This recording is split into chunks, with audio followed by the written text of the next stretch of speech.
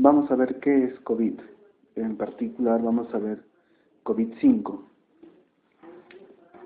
COVID-5 se entiende como un modelo de referencia de procesos que me ayuda a ver desde la perspectiva del negocio cómo realizar la gestión y el gobierno de TI en la empresa. Uno de los importantes cambios desde la versión anterior de COVID es que es el punto de vista del negocio. Antes veíamos desde TI, pues ahora hacemos énfasis en el negocio e incorporamos de una forma más, más fuerte eh, el tema del gobierno de TI, el gobierno y la gestión de TI. Pues bueno, primero habría que entender que COVID antes era una, una sigla que involucraba, involucraba el control interno para, para TI. Ahora COVID ya no es eso, sino es una marca registrada. Como tal, trata de conceptualizar a TI como una función inmersa en el negocio. Siempre se ha pensado que el negocio como que está distante de TI y también en viceversa, como que TI se aleja del negocio. Pues justamente busca que TI esté inmerso dentro del negocio. Por tanto, COVID eh, ha sido desarrollado por la Junta Directiva de ISACA a través de las siguientes eh, drivers, drivers o impulsores del desarrollo principales, ¿no? El primero de ellos, ya lo hemos mencionado, es conceptualizar a TI como una función del negocio. ¿no? Otro es que es importante para ISACA que este marco de referencia proporcione una mayor voz a los stakeholders. Cada vez hay más partes interesadas que esperan, tienen, tienen unas expectativas de la información y de la tecnología. Entonces, eh, requiere este marco brindar mayor oportunidad para que los stakeholders puedan ser escuchados. También otro driver importante es, considerando que cada vez hay una cantidad significativamente grande de información eh, que me ayuda a tomar decisiones, o a veces no me ayuda, pues esto, por ejemplo, se puede involucrar en el tema de lo que le llamamos la Big Data, ¿no? una gran cantidad de información que no sabemos cómo administrarla, pues justamente COVID me debe permitir gestionar la información empresarial. Otro driver importante es que siempre hemos visto a los externos como si fueran un poquito eh, extraños, ¿no?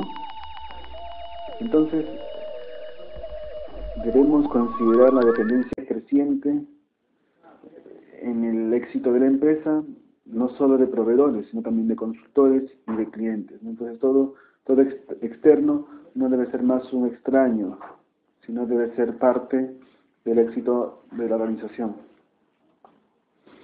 Además, un driver importante es que necesitamos una orientación en el ámbito de la innovación, ¿no? Cada vez son mayores las corrientes que nos eh, impulsan a innovar. En un mercado tan competitivo, pues necesitamos una guía sobre cómo vamos a innovar, cómo vamos a manejar las tecnologías emergentes, ¿no?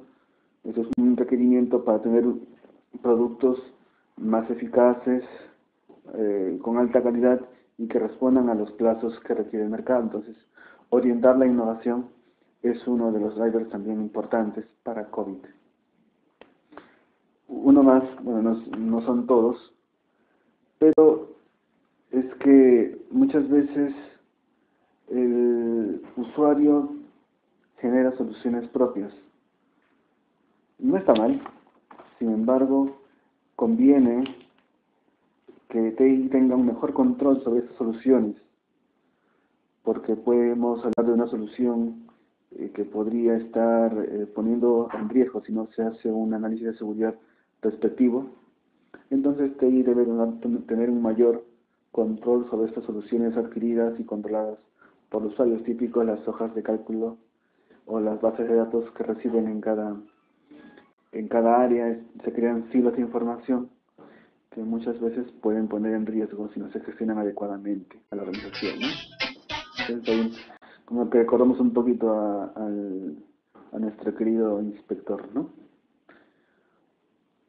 Muy bien. COVID se formula pensando que el negocio tiene ciertas necesidades. Acá mencionamos, por ejemplo, que siempre es para el negocio importante incrementar sus beneficios, ¿no? tener un, mayor retorno de la inversión que maneja.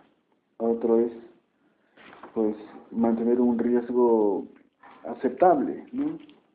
No, hablamos de eliminar el riesgo, sino llevarlo a un nivel en que podamos tolerar el riesgo. Otra es optimizar el costo de los servicios de TI y de la tecnología. Además, también se nos pide cumplir con la regulación, que cada vez es más amplia, más exhaustiva. Eh, hay acuerdos contractuales, hay políticas, hay más regulaciones. Entonces también tenemos que cumplir con estos requerimientos. Finalmente hablamos de que requerimos mantener información de alta calidad para una mejor toma de decisiones. ¿no? Entonces, considerando estas como las necesidades más importantes del negocio, que presionan a, la empresa, pues podemos decir que COVID, ¿qué me aporta? ¿Cuál es el beneficio principal de COVID? Y podremos decir que uno de los beneficios más importantes de COVID es crear el valor óptimo de la organización, de la empresa. ¿Cómo? Pues logrando beneficios,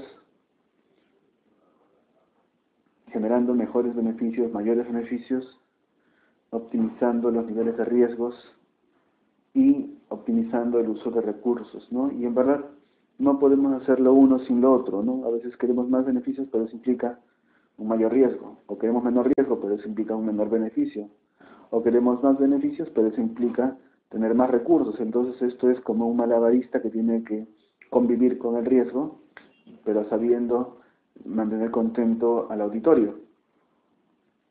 Entonces, eh, ese es uno de los principales beneficios. Podríamos mencionar que además esta versión de COVID, COVID-5 permite que TI sea administrada y gobernada de una forma integral, holística para toda la empresa, considerando a la empresa de punta a punta, considerando las partes interesadas, como ya hemos dicho, y considerando un freno genérico que aborda todo lo relacionado al gobierno y la gestión de la información. ¿no?